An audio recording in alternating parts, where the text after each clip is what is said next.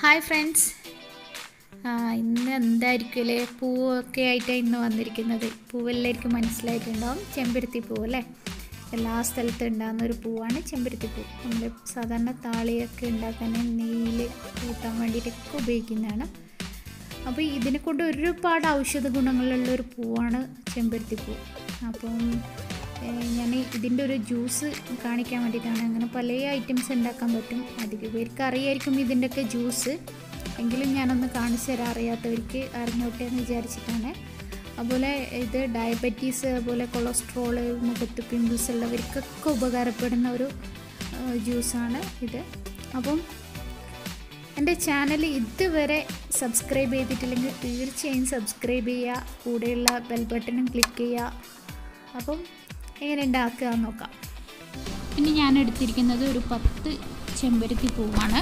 അതിന്റെ ഇതൾ മാത്രമേ വേണ്ടുള്ളൂ.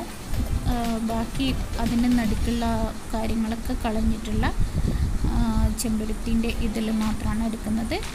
അതുപോലെ പിന്നെ നമ്മൾക്ക് വേണ്ടത് പഞ്ചസാരയാണ്. പഞ്ചസാര എന്ന് പറയുന്നത് ഒന്നെങ്കിൽ പഞ്ചസാര അല്ലെങ്കിൽ തേൻ. എന്റെ കയ്യിൽ തേനില്ലാത്തതുകൊണ്ടാണ് ഏറ്റവും നല്ല തേനാണ്. അതുപോലെ രണ്ട് ചെറുനാരങ്ങ. ഇത്രയാണ് ഇതിന് വേണ്ടത്?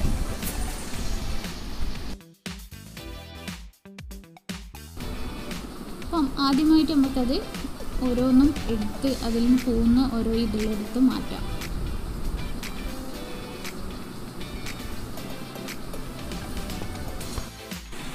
അതിനുശേഷം നമ്മൾ ചെയ്യേണ്ടത് ഇത് നന്നായി കഴുകിയെടുക്കുക. ജസ്റ്റ് ഒന്ന് വെള്ളത്തിൽ നന്നായി കഴുകുക. കാരണം പൊടി അങ്ങനെ എന്തെങ്കിലും ഉണ്ടെങ്കിൽ അത് പോകാൻ വേണ്ടിയിട്ടാണ്. നന്നായി പിഴിഞ്ഞ് അങ്ങനെ കഴുകാൻ പാടില്ല. ജസ്റ്റ് ഒന്ന് വെള്ളത്തിലിട്ട് ഒന്ന് കഴുകിയെടുക്കുക.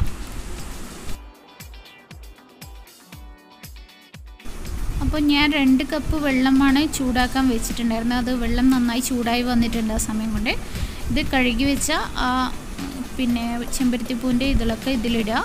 ജസ്റ്റ് ഒന്ന് നന്നായി തിളച്ചതിന് ശേഷം ഇട്ടിട്ട് ഒന്ന് എനിക്ക് കൊടുത്തിട്ട് പിന്നെ മിക്സ് ചെയ്ത് അപ്പം തന്നെ ഫ്ലെയിം ഓഫ് ചെയ്യുക അതും ഇട്ടിട്ട് തിളപ്പിക്കാൻ പാടില്ല. ജസ്റ്റ് ഒന്ന് മിക്സ് ചെയ്തെടുത്തിട്ട് ചൂടാറാൻ വെക്കുക അതിന് ശേഷം നമ്മൾ ഒരു പതിനഞ്ച് മിനിറ്റ് അങ്ങനെ റെസ്റ്റ് ചെയ്യാൻ വെക്കണം. അതിനുശേഷം ഇങ്ങനെ ഈന്റെ ഇതൊക്കെ എടുത്ത് കളയാം. ഒന്നെങ്കിൽ അരിപ്പ് വെച്ചിട്ട് കളയാം. അല്ലെങ്കിൽ നമ്മൾക്ക് ഇങ്ങനെ സ്പൂൺ ഉപയോഗിച്ചിട്ട് എടുത്ത് കളയാം. നമ്മൾ ചെമ്പരത്തി പൂവ് തിളച്ച ശരിക്കുള്ള വെള്ളം കണ്ടോ നിങ്ങൾ ഇതിന്റെ കളറൊക്കെ കണ്ടില്ലേ? അപ്പോൾ ഇതൊന്ന് ജസ്റ്റ് അവിടെ ഒരു പാത്രത്തിലേക്ക് മാറ്റുക. അതിനുശേഷം ആ നേരത്തെ എടുത്തു വെച്ച രണ്ട് ചെറുനാരങ്ങന്റെ നീര് അതിലേക്ക് ഒഴിച്ചു കൊടുക്കുക. അപ്പോൾ നിങ്ങൾ അതിന്റെ ഒരു കളർ ചേഞ്ച് കണ്ടോ? നല്ല റെഡ് കളറായി നല്ല കളറാണ് നല്ല എന്താ പറയുക നല്ലൊരു റെഡ് കളറാണ് ക്യാമറയിൽ അത്ര കാണുന്നില്ല. എങ്കിലും നല്ല കളറായിട്ടാണ് കിട്ടിയത്. അതിനുശേഷം പഞ്ചസാര.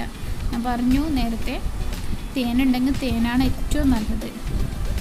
എന്നിട്ട് ഒന്ന് തണു ഫ്രിഡ്ജിൽ വെച്ച് തണുപ്പിച്ചതിന് ശേഷം നമുക്ക് സെർവ് ചെയ്യാം. നല്ല ടേസ്റ്റ് ഉണ്ട്.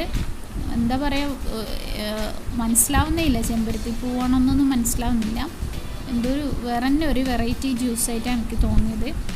പിന്നെ ചെറുനാരങ്ങന്റെ ആ ടേസ്റ്റും. അപ്പം എല്ലാവരും നോക്കുക ഏറ്റവും നല്ലതാണ് ബോഡിക്ക്. അപ്പോൾ എല്ലാവരും പരീക്ഷയൊക്കെ ഈ ചൂട് സമയത്ത് കഴിക്കാൻ പറ്റിയ ചെമ്പരത്തി പൂവ് എല്ലായിടത്തും കിട്ടാനുണ്ടല്ലോ.